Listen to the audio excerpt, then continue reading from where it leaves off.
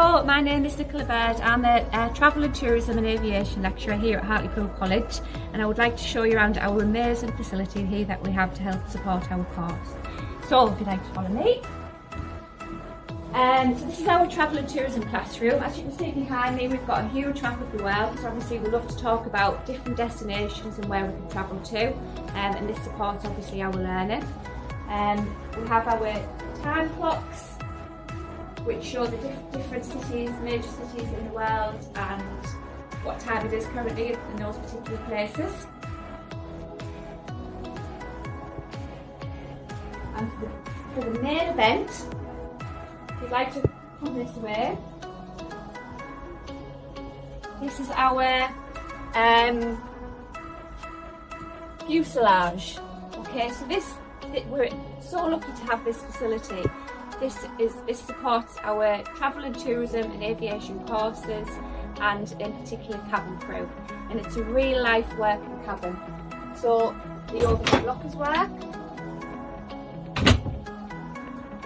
Obviously there's 24 seats here that students can sit in to learn in the environment and then we have um, the PA facility.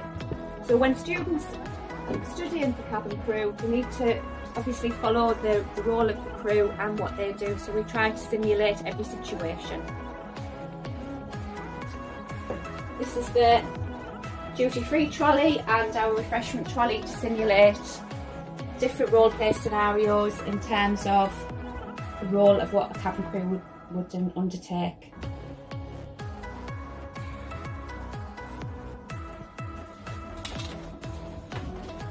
So just we offer a full range of courses here at Hartlepool.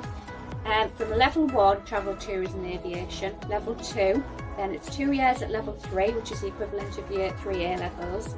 Following on from that, you can do our level four and level five foundation degree.